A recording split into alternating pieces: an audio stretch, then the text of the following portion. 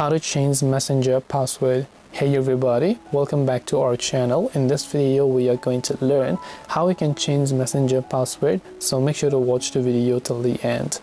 Now if you want to change the password for your messenger account open up the messenger app. Your messenger came, comes from facebook so you have to change the password for your facebook account.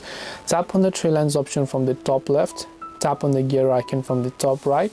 Over here you can simply scroll down and you'll find this account center option which is Cmarine account center.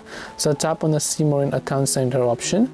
Then once you've done that go to password and security tap on change password select your Facebook account.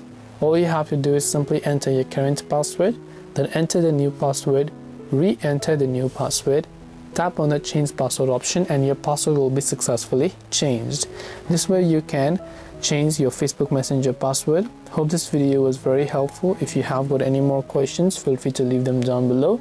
Thank you for watching till the very end of this tutorial and see you soon in the next video.